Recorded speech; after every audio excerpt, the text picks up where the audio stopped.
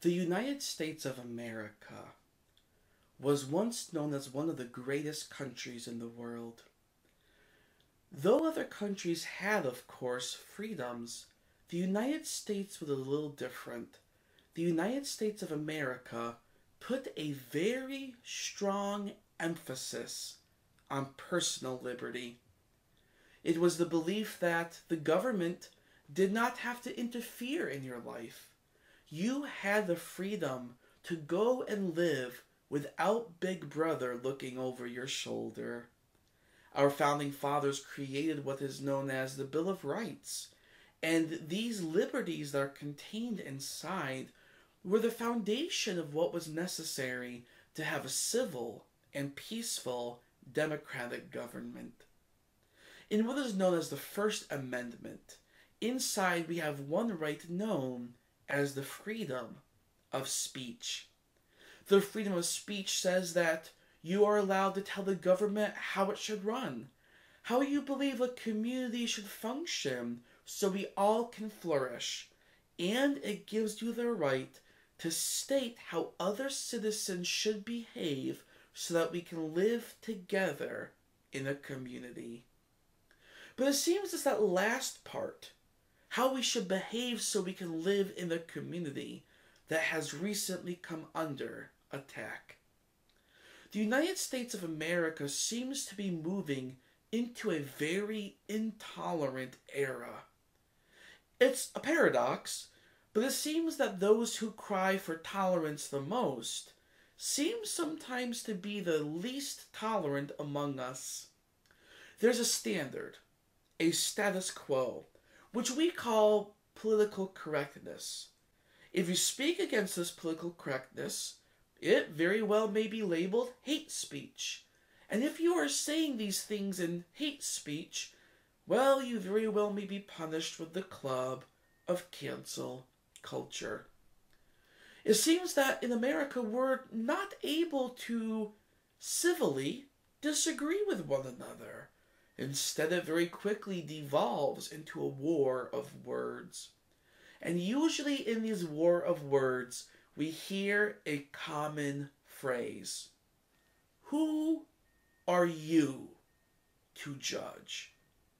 Who are you to tell me how I should live my life? Who are you to tell me what is ethical? Who are you to raise up this moral standard? Who are you? To judge. And the savviest of them will even show you that Jesus allegedly said the same thing. Matthew 7, verse 1, Jesus says, Do not judge, or you too will be judged. And the people will look at you and say, See, when you tell me that I should live according to this moral standard, you're judging. And Jesus says you're not supposed to do that. Who are you to judge? But we have to ask ourselves a question Is that really what Jesus means? When Jesus says, Do not judge, or you too will be judged, is he really saying you cannot call sin sin? Is he saying you cannot call evil evil? Is he really saying you cannot hold the community to a moral standard. Well, that is exactly what many people think he is saying. And that's not just in the world, it's also in the church. Recently, Megan and I had a discussion on Facebook. We entered into an ethical debate with some other Seventh day Adventists and for those of you who have made the mistake of entering into a Facebook debate, you know that uh, pouring blood into a pool of piranhas seems rather peaceful to what you may encounter in a Facebook debate. But Megan and I remained calm, and we laid out our case biblically and logically. I was not prepared for the amount of hate, the amount of uncivility, the amount of aggression and blaming that came our way. The other side cited no scripture. They did not use any logical arguments. They just simply said, If you try holding other people to a moral standard, you are unloving and you are judging. And Jesus says you cannot do that. So we ask ourselves a question today, I believe. When Jesus says, do not judge, or you too will be judged, is he really saying that you have no right to call other people to live a moral standard? Well, if that is what he means, then, well, it completely undermines the entire gospel. Because if you cannot tell people that they are in sin, then you cannot tell them that they're lost. And if you can't tell them they're lost, you can't tell them that we're in the middle of an investigative judgment. And if you can't tell them that we are in the middle of an investigative judgment, then you cannot tell them Christ is coming again soon. And if you cannot tell them Christ is coming again soon, then you cannot call them to the way of salvation. If Jesus really does mean you have no right to call people to live a moral standard, then Jesus becomes the biggest hypocrite the world has ever seen. Because Jesus is always calling people to live a moral standard. Jesus called the Sadducees a brood of vipers. He said to the Pharisees what we call the seven woes. Right? He said to the rich young ruler, when the rich young ruler came to him and said, What must I do to be saved? Jesus told him to keep the commands. And then the rich young ruler said, I've done all of that. And then Jesus said, This one thing you have not done go and sell all that you have and give to the poor. Jesus was calling him to an ethical, moral standard of living. Jesus was more than happy to call people to a moral standard of living if the action they were doing jeopardized their salvation. But if Jesus really is saying, and do not judge or you too will be judged, if he really is saying you cannot hold people to a moral standard, then the Bible is the biggest fraud in the world. From Genesis 1 all the way through Revelation, it is consistently holding us to a moral standard. It tells us that certain actions are wrong. We call that sin. And if Jesus really does mean you cannot hold people to a moral standard, then the Holy Spirit has no purpose in your life because John 14 tells us that one of his ministries is to convict the world of sin. When Jesus says, Do not judge, or you too will be judged, is he really saying you cannot call people to moral living? That is not at all what Jesus is saying. What Jesus does say, though, is far deeper, far more loving, and far more redemptive than most people give it credit for. Because at the end of the day, Jesus is saying something simple. He is saying, transform yourself first, and then you will have the power to transform the world. Let's look at the entire passage in its context. Matthew 7, verses 1 through 5. And I will be reading from the New International Version. Do not judge, or you too will be judged. For in the same way you judge others, you will be judged. And with the measure you use, it will be measured to you. And that's where most people stop they don't read verses 3 through 5. But it's verses 3 through 5 that fully help us understand what Jesus is saying. Picking up in verse 3. Why do you look at the speck of sawdust in your brother's eye and pay no attention to the plank in your own eye? How can you say to your brother, Let me take the speck out of your eye, when all the time there's a plank in your own eye? You hypocrite! First, take the plank out of your own eye, and then you will see clearly to remove the speck from your brother's eye.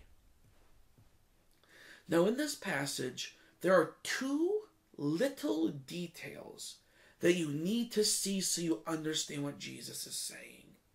First of all, the plank and the speck of sawdust are the same material. They are both wood. Secondly, the plank is really big and the speck is really small. Whoa, Pastor! Mind blown, right? Wow, Pastor, thank you for pointing that out. Right? The depth of the Bible has just been unearthed. Now, of course, I say this tongue in cheek. But the point I want to bring out is that so often we skim over these small details, not realizing that the small details are really a gold mine of truth. Because these two details, that the plank and the speck are both wood, and one is big and one is small, helps us fully understand what Jesus is really saying.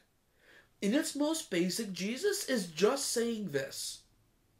When there is a brother who is going through a small problem, and you are going through the same problem, but bigger, first, work on your big problem. And once you've done that, you can go and help your brother with his small problem. In other words, Jesus is saying this transform yourself first, and then you will have the power to transform the world. And so often, though, we have it backwards. We don't want to start working on ourselves. We'd rather start working on you. Now, I believe that in this passage, the brother with the bigger problem is sincerely trying to help the brother with the smaller problem. He knows the struggle. He knows the suffering. He knows the stress. He knows the anguish. And he does not want this for the other brother. And so he goes to help him, but he fails. Why does he fail? Well, according to Jesus, because he has not overcome his problem first. In other words, how can you hope to help a brother through their problem when you haven't even overcome your problem first? Instead, first take care of your issue. Then you will have the power to go and help the other brother in their issue. I'm reminded of a quote from a Hasidic rabbi that he penned at the time of his death. He said, When I was a young man, I dreamed of changing the world. But as I sought to do so, I realized this was too big for me. And so I tried to change my country. When I realized that this too was beyond my means, I set my sights a little smaller and tried changing my state. But this too would not budge, and so I tried to change my town. But they would hear none of it. And so I set my sights lower still and tried to change my family. But they knew who I really was, and so they would not listen to me. And now, as I lie here on my deathbed, I realize that I should have started by changing myself. Because if I had begun by changing myself, I may have been able to change my family. And from there, I could have changed our town. And from there, I could have changed our state. And who knows, I, I may have even been able to change our country. And if I had just started by working on myself, then who knows, I may have just been able to change the world. And that is what Jesus is saying here. He is saying, don't go and call someone else to a moral standard of living. Instead, bring yourself up to that moral standard, and then you will have the power and the perspective necessary to bring someone else to the same standard. Transform yourself first, then you will have the power to transform the world. And to be fair, isn't that really what we all want? I mean, think about it. If you're going through a problem and you're going through a situation, who would you rather have help you? someone who has no clue what you're going through, or someone who has been there, done that, and lived to tell the tale. Most of us are going to choose a second person, the one that lived to tell the tale. Why? Because they understand. They know the struggle, they know the stress, they know the anxiety, they know what we have been going through, and they found a way. And it's through their struggle that we can have salvation. Have you ever thought about that? Your problem may be someone else's peace. Your mountain may be their miracle. Your obstacle may be their opportunity. Your struggle may be their salvation. Now, Jesus knows that other people are struggling. And so he calls you to transform yourself first. And then you'll have the power to transform the world. He specifically says so. Look at verse 5. You hypocrite! First take the plank out of your own eye, and then you will sit down and not help your brother do anything. Is that what he says? Not even close. First, take the plank out of your own eye, and then you will see clearly to remove the speck from your brother's eye. Your struggle can be their salvation. Jesus is not saying you cannot call people to a moral standard. He is saying something far more redemptive. He is saying, overcome your problem first and then you will be able to help others overcome as well. It is like the parable of the man who fell in a pit. One day a man is walking down the road when all of a sudden he falls into a pit, a little sinkhole. The pit is too deep for him to jump out of, and it's too steep for him to climb. And so he begins to scream out for someone, Help! Help! Someone come and help me! And after a few minutes, his friend peeks his head over. And the man says, Oh, so glad that you're here. Please, friend, help me. And what do you think the friend did? He jumped right down into the pit. and the man goes, You idiot! You dummy! Why did you jump in the pit? I, I didn't need you to jump in the pit. I needed you to get me out. And then the friend said these words Oh, my friend, I am helping you out. You see, I have fallen this pit before, but I have found a way of escape. I know the way out. When you overcome your problem, when you overcome your struggle, you too know the way out. And what Jesus is saying is once you've overcome, once you know the way out, go forth, take others by the hand, and show them the same path. Now, I don't know what pit you're going through or what struggle you may be facing, but Jesus wants you to be transformed. Jesus wants you to be redeemed. But he doesn't want the redemption to stop there.